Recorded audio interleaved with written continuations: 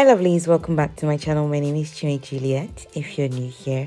And I just want to say that it feels so awesome to be back making and publishing content for you all. It just feels amazing. So thank you all so much for your patience, your understanding, because sometimes we all need a break from social media. Like we all need a break. And sometimes the break can get really long. I didn't actually expect that I'll be out for six months. I didn't know. But, you know, life happened. But we thank God for everything. So, having said all that, let's dive right into the video. And just in case you haven't seen my previous video, I cut my hair.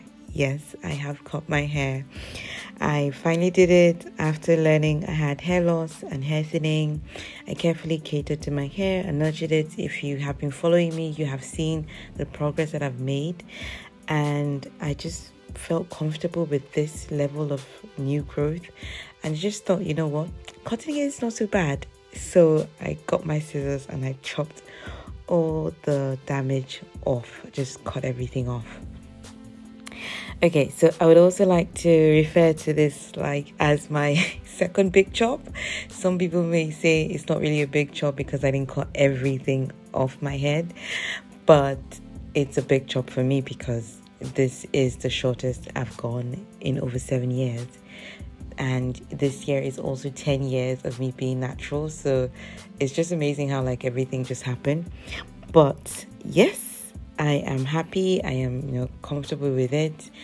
And it's my hair, it's my journey, but then I do also want to be able to share my experience to help you all or help anyone that may be going through the same thing. Just to give them that confidence, you know, and also to help them know what's best in terms of hair care. All right, so this video is my first wash day after my big chop and I wanted to share with you all. So right now I'm just I'm just getting ready to pre-poo my hair, just prepping it. You know, it's also the first time I've seen my hair like this, so I'm just trying to get used to it. In the whole video, I'm just just you would catch me like trying to see my hair, you know, at different points because it's like it's new, and it takes some getting used to because for me this is like awkward length stage and you know that's when you have the the most hang time so your hair is not short short and it's not long at all so it's just like hanging and yeah I'm just, I'm gonna get used to it, but just you'll catch me like sometimes just staring at the mirror, just looking at my hair.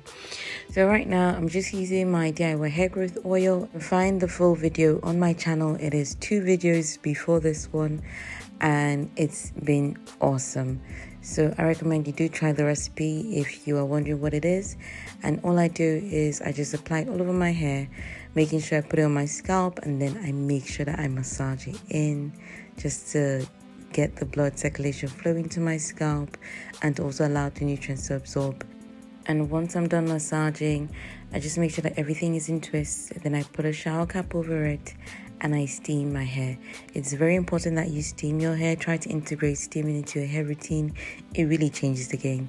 If you can afford a steamer, then you can get a heat cap. You could get a uh, yeah a heat cap, and there's another one that's microwavable as well.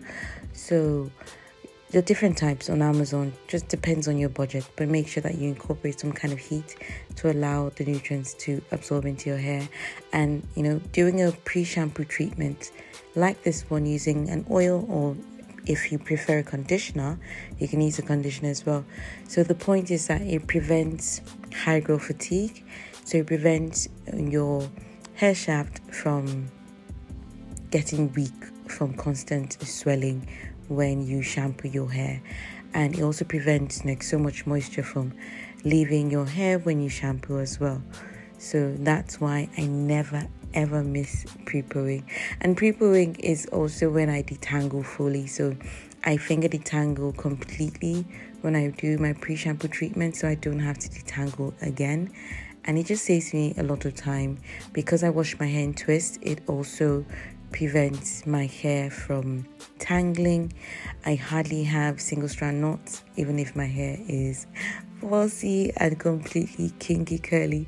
I hardly have single strand knots because my always my hair is always in in clumps so it's like you know always in twists always in braids always together so it's hard for it to curl up around itself so yeah so just make sure you massage all that in there give your give yourself a good massage. Um this is obviously fast forwarded. You don't have to be so it, I, i'm not that aggressive but this is on fast forward. But then give yourself a good massage. Make sure you massage for about 10 minutes. And just enjoy the process. Take take it as self-care time. Don't rush it. If you don't have time then just set it for a time that you, you know you can just have 10 minutes to yourself and do it.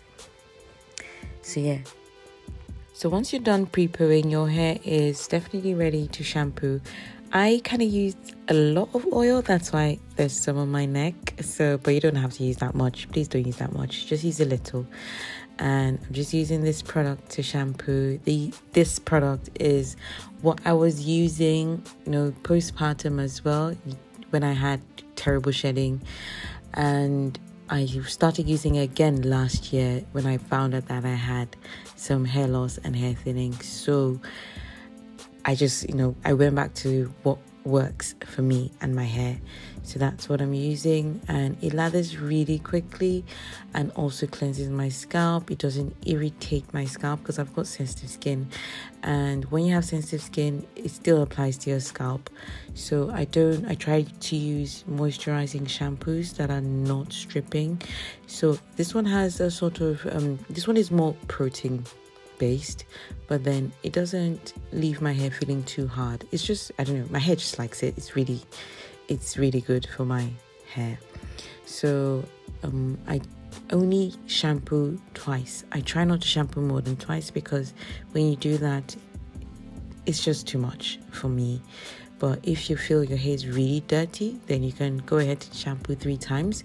But then I do advise that twice is absolutely fine.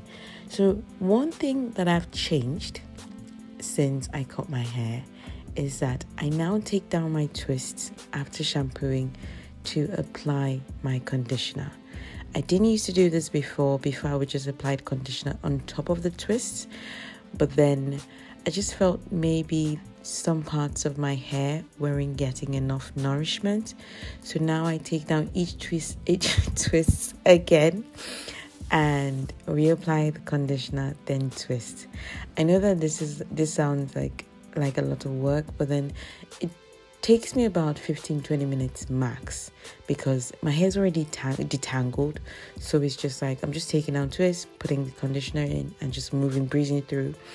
And because my hair is shorter now i have to do more twists than i used to when my hair was longer. So yeah yes um, the reason why I'm doing this is because if my twists were bigger, it would loosen with the weight of the water because my hair is shorter now and it will bulk up once the water hits it. So I have to twist my hair smaller to be able to make sure that the twists stay when I begin to rinse. So once I'm done untwisting, applying the conditioner and retwisting again. Then I put my hair again in a shower cap and I make sure that I steam one more time. So this time around, I leave the conditioner in for 30 minutes under under a steam cap and allow it to just like soak up all the conditioner in to strengthen my hair. So once I'm done with that, just rinse and I used a microfiber towel to remove the excess water. This is a new microfiber towel, so it left some stuff in my hair which I did not see, but I'm just seeing right now because of I'm able to see it while editing and just it all comes off. It's just like the fiber from the towel. Yeah. So it doesn't really matter, everything comes off later. So right now I am doing something brand new as well. So I've been struggling with breakage for a while and I wanted to find out what the root cause was. So I did a lot of research and I've tried a bunch of things. So right now I've I added a split end mender. This one was one of the most fascinating products I have seen in the market. I don't know why it's not spoken of more, but I found it and I started using it and I will get back to you with the review. I'm, I'm not going to hype any product in this video. This video is basically just to show my wash day routine right now, but there is there are differences. I'm just going to leave it there that there are differences. So what I do is I apply the split end mender first and allow it to sit for one minute. So that's why I'm taking on the twist, apply it, and then I bantu knot my hair out of the way, and then I move on to another twist.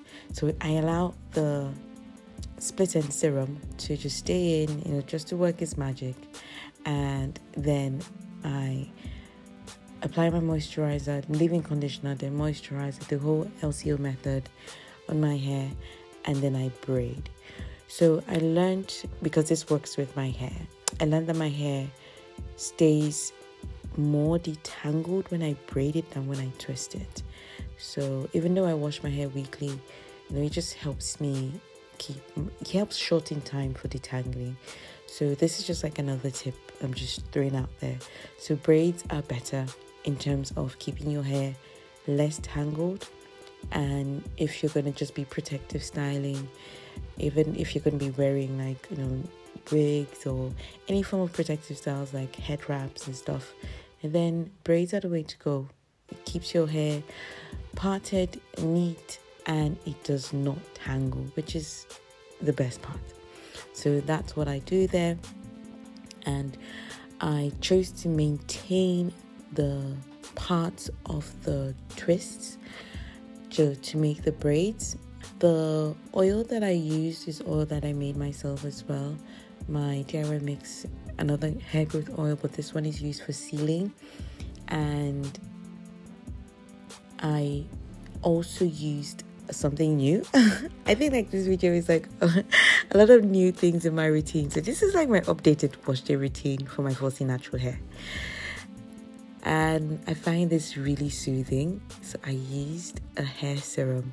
So this hair serum comes with the shampoo and conditioner that I showed you earlier and it just feels amazing. It has this because the main ingredient is aloe vera, it has this like soothing effect on my scalp. It just cools down everything, honestly. and it feels amazing. So I think I've said already. yeah. So I just used that finally you know i just put it all over my hair and then i massage it again so my, my hair gets a lot of tlc on wash days because i i try to make time for it even if there's no time for anything these days you have to make time for for yourself in terms of just taking care of yourself in whichever way it is if taking care of yourself involves reading books then do that if taking care of yourself is is is is working out, do that. Just do what you need to do. And don't say you don't have time. Do it because you know that 10 minutes, that 30 minutes is going to go anyway. So you might as well do spend it on, you know, make time and spend it on something that you actually like and enjoy doing. So yeah, I hope you all enjoyed this video. I loved I loved making it. so if you enjoyed this video, don't forget to leave your thoughts and your, and your comments in the comment section below. Don't forget to live well, live great, and pray always because God because God loves you and God bless you. Take care, lovelies. Bye.